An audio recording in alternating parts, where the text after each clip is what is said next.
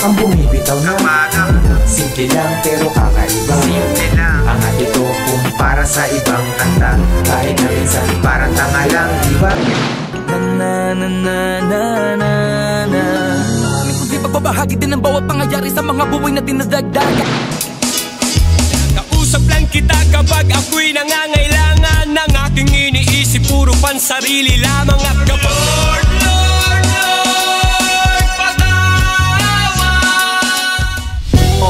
huwag pang hinaan ng loob Kalmado lang, kasi maganda ang kutob Magin- maganda magiging resulta nito kasi alam ko naman pareho namin pinaghandaan tong araw na to. Mas pinag-aralan ko, natutuwa ako nung lumabas yung video, nakita ko yung mga kamalian, saka napunan ko yung mga dapat pampunan. Ginawa ko talaga yung makakaya ko para makapagsulat ng mga malakas na material para sa araw na to. May, may mga bago pa rin, syempre, dapat may bagong pasabog tayo palagi. Sisigaw pa rin siya ng malakas. Pupunayin niya yung mga ano, butas sa akin. Gusto mo din manalo pre. Pareho lang tayo ng gusto mangyari. Pero ang importante doon, mapasaya natin yung mga tao. J-Block, galingan natin, tangin na to, doon na natin to kasi ahon din to.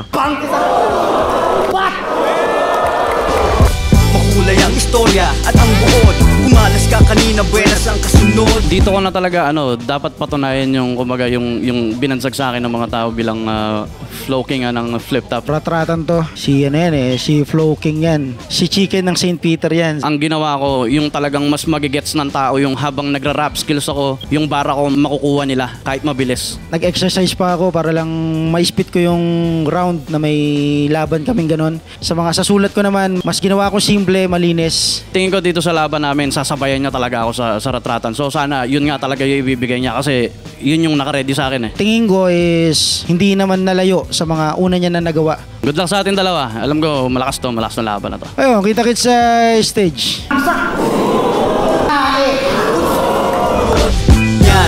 ayon sa mga matanda Susundin mo ba ang payo ng hindi pumlakda? Parang mas gusto ko magpatawa ngayong gabi. Maraming jokes, ulan ng jokes dito. Eh, matatawa kayo, tingin ko. Kung hindi, eh, di corny. Gusto kong basagin yung style niya. Kung ano yung comedy, tatapatan ko ng masigit pa. ano, tingin ko gutom na gutom siya ngayon. Eh, mandadamay ng babae to, syempre. At kung ano-ano ang angulo. At syempre, puro real talk. Meron din to yung mga personal na buhay. Takits. Kung akala mo, matatalo mo ako. Sana totoo yung akala mo. Na, choice mo yan, huwag kang padikta Damputin na ang baraha, ikaw Tingin ko naman magiging uh, lirikalan ng laban na to. Battle lang bars kung tawagin. medyo hindi ako kampante kung kaya kong dalhin tong laban na to kasi medyo naghahul ako sa oras sa paghahanda sa shop ko. Ginawa ko unpredictable yung style. Kumbaga, by round, hindi lang isang style yung ginawa ko. Gusto ko lang talaga matapos yung sulat para maitawid ko yung laban pero yun sana maging effective pa rin yung hinanda kong pyesa. Magpapakita siya ng iba, ibang atake, ganon. May personal din yan. Babadibag ako eh. Eh sa tingin ko eh talagang totoo to si Plasma kasi finalist ng isa buhay yan eh. Hindi rin basta-bastang kalaban yan si Plasma eh. Sana naghanda ka dahil naghanda din ako dito. Good luck sa laban natin at ah, ngayon pa lang congrats na sa atin kasi alam kong napakalupit na ipapakita mo ngayon.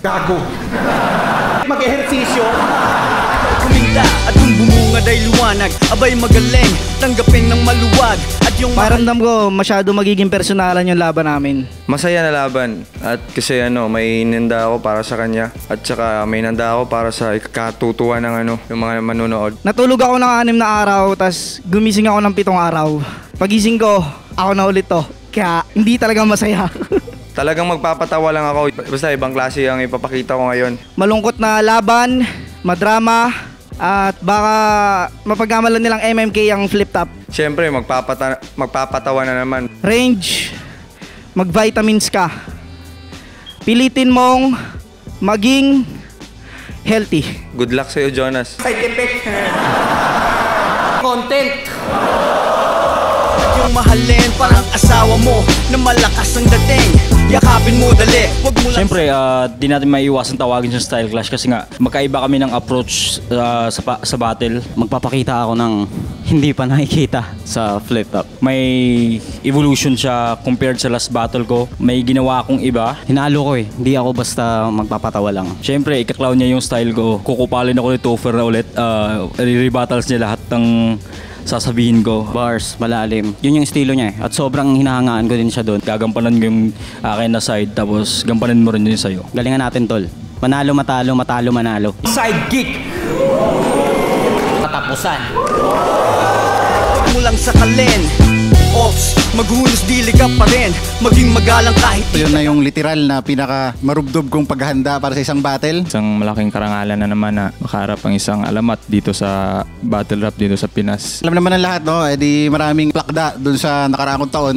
So marami talagang sinira sa mga dating mga proseso, tapos inaral ulit. Tapos tingnan natin kung maganda kalalabasan. Preparasyon, the same pa rin sa mga past battles ko pero may inadjust siguro ako ngayon sa delivery. Ah, inaasahan ko na ganun pa rin siya kalinis at siguro mas malakas pa lalo yung ah, mga sulat. Naasahan kong bumawi siya sa mga naging slip-ups niya sa mga past battles niya. Una maraming salamat at ah, takits tayo sa entablado. Enjoy lang natin yung battle. Sana maging 100% ka at ako. Sana walang stumble sa ating dalawa. Sana maging perfect. Win or lose, pare. Ah, idol kita. Tanpo! Laban! Magalang kahit di tagagagalangin Ang pagkakataon iyon ang harapin Hakbangan mo na expect 100% uh, sa lahat, content, delivery lahat. So, in short, yun, bakbakan. Unpredictable. Ah, magaling humanap ng gulo. Pagdating sa material, syempre, ini-aim ko lagi na original.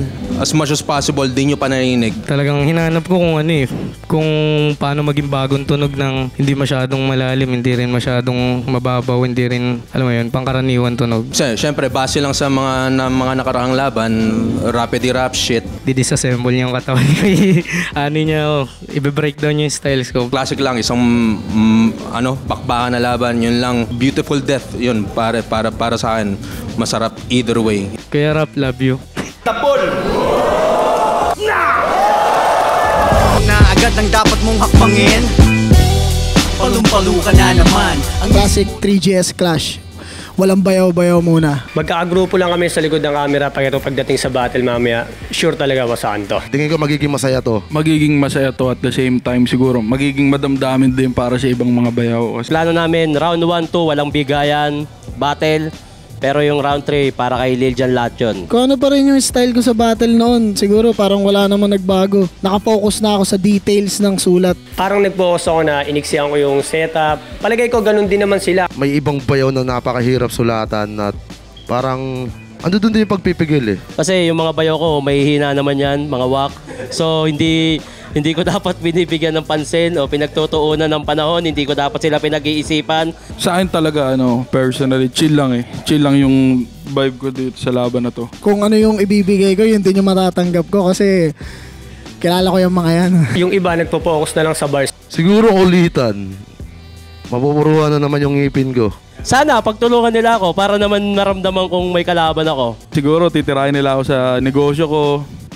Sa, sa mga bagay na alam nila sa akin na alam kong nagiging biruan namin sa normal na mga pagsasama namin yun. Mahal na mahal ko kayong lahat. Sulitin natin yung battle na to. Yo, mga bayaw, tangin na. Mahal na mahal ko kayo. Yun, ma- enjoy nyo lahat ng laban. Good luck sa inyo. Putang ina nyo. Galingan natin. Basta para kay Liljan to, yun na yun. Tabi!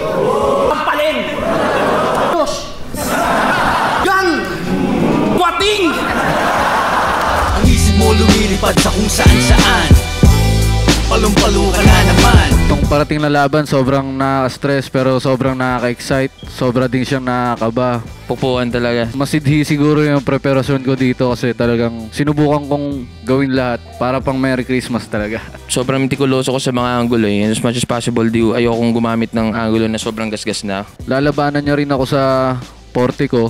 Susubukan niya siguro. Magpapakita siya ng mga talagang solid na bara. I don't know, I just wanna be surprised kung sakaling meron siyang bago. Tulad nung laban niya kay Mot, yun yung pinakamalakas na Apex na nakita ko eh. So I'm expecting same Apex. Good luck sa atin dalawa. Itodo mo lang, totodo ko lang din. Pare, tayo na good luck sa atin. Alam mo, sinabi ko na sa, sa, sa'yo simula pa na yung nga, idol kita ah, dati pa. Kaya, you know, ka, karangalan sa akin mga labang ka. At um, labas natin lahat ngayon, pare. Forte!